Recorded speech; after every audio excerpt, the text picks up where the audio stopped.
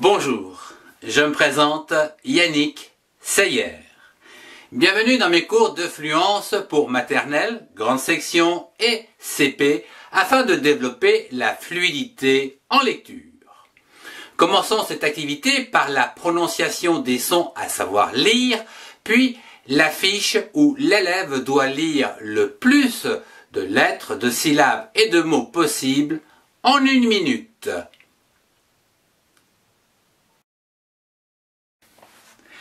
Voyons aujourd'hui le son est avec la lettre E, accent grave. est. On trouve ce son est dans les syllabes suivantes. B, BE, accent grave, B. C, CE, accent grave, C. D, DE, accent grave, D. F, FE, accent grave, fait, he, he, accent grave, he, j'ai, ge, accent grave, j'ai, les, le, accent grave, les, mais, me, accent grave, mais, ne, ne, accent grave, ne, p, pe, accent grave, p, Ré, R-E, accent grave, Ré. C, S-E, accent grave, C. T, T-E, accent grave, T. V, V-E, accent grave, V. Z, Z-E, accent grave, Z. Passons à la lecture rapide où un adulte doit relever le nombre de lettres, de syllabes et de mots lus correctement, ainsi que les erreurs sans interrompre la lecture. Vous avez une minute. Attention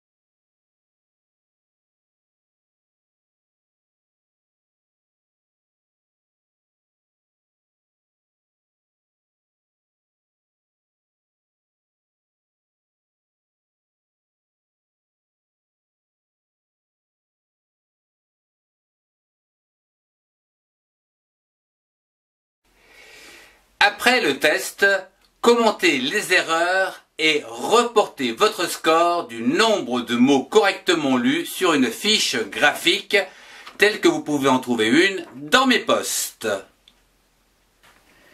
Je vous invite à refaire ces tests de fluidité en lecture le plus souvent possible pour mieux lire et bien sûr être plus rapide et plus performant en lecture et ainsi comprendre aisément les textes plus rapidement.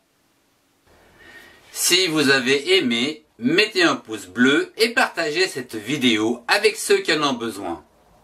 Si vous voulez plus de cours sur la fluence, laissez-moi un message. Retrouvez-moi dans les playlists qui s'affichent. Au revoir et à très bientôt.